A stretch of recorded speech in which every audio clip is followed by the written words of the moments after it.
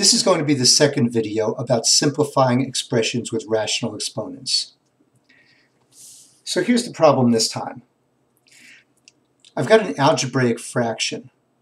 So I've got 6 times x to the 2 fifths y to the negative 1 half. And that whole x to the 2 fifths y to the negative 1 half is raised to the 10 thirds power. And that is a numerator. The denominator is then 3x to the negative 1 quarter y to the 2 thirds. So let's see how we're going to deal with this. Well, the first thing I see is I've got this 6, and the 6 is multiplying everything in the numerator. And I've got a 3 in the denominator, and it multiplies everything in the denominator.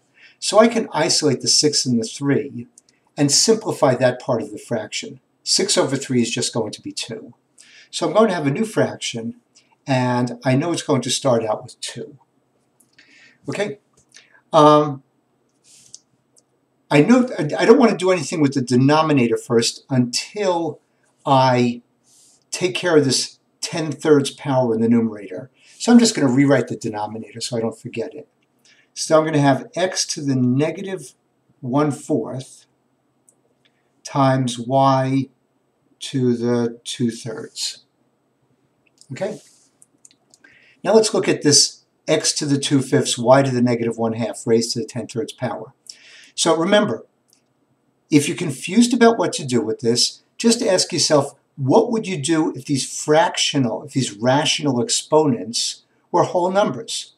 Well, you would take the exponent outside the parentheses, and you would multiply it by each of the exponents inside the parentheses.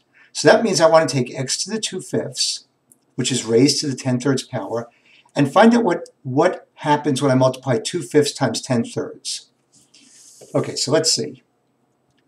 2 fifths times 10 thirds. I can simplify this before I multiply it out. I can divide 5 into both the denominator of the first fraction and into the numerator of the second fraction. Then I can multiply across. I'll have 2 times 2 is 4, and 1 times 3 is 3. So that means that 2 fifths times 10 thirds is 4 thirds. Which means that I'm now going to have x to the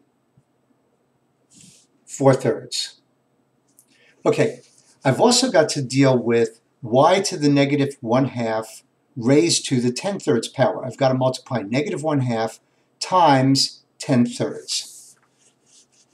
So let's see what that comes out to. Negative 1 half times 10 thirds. Oops, 10 thirds. Once again, I'm going to simplify this before I multiply. I can divide this first denominator by 2. That'll give me a 1. And the second numerator by 2. And that will mean I have a 5. And then multiplying across, negative 1 times 5 is negative 5. 1 times 3 is 3. So my exponent for the y is going to be negative 5 thirds.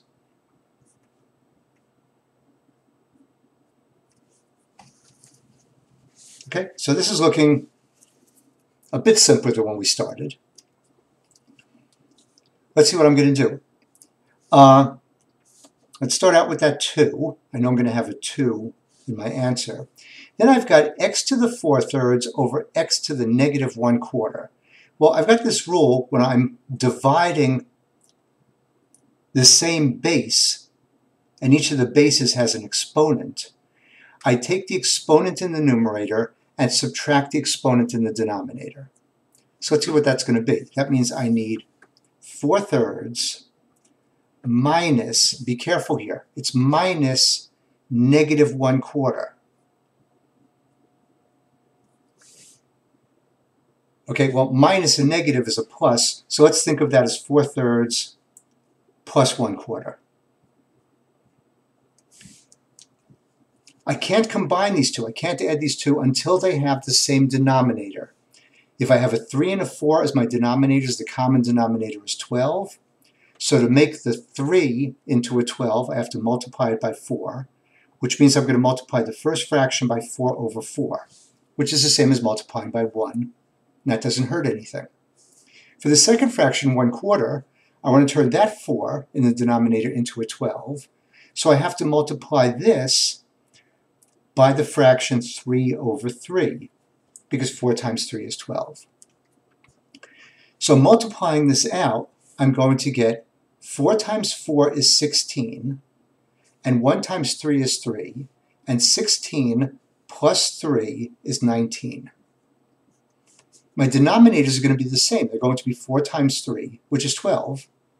So this fraction becomes 19 twelfths. Okay, so let's put that in here.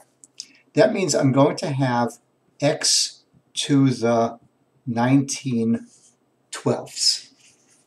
And then all I've got left to do is deal with this y to the negative 5 thirds over y to the 2 thirds. So let's see what happens here. That means I want to take negative 5 thirds and subtract 2 thirds. Well, this is nice. At least I have a common denominator. So negative 2, negative 5 minus 2 is negative 5 minus 2 is negative 7. So this is negative 7 thirds. Okay, so that means my y is going to be negative raised to the negative 7 thirds power. And now all I have left to do is get rid of that negative exponent, which means I'm going to move the y to the negative 7 thirds down to the denominator and make it a positive exponent. So I'm going to have 2x raised to the 19 twelfths over y to the 7 thirds. Okay? Now if you think about it, everything I did here followed exactly the same rules you would have if you were dealing with whole number exponents. The only difference was we had to do a lot of work to deal with the fractions, but it didn't change the rules. Okay? So, as with a lot of math, the way to get good at this is to do plenty of practice, review your, review your fraction rules if you need to, review your exponent rules also if you need to, get plenty of practice, and everything should be fine. Take care. I'll see you the next time.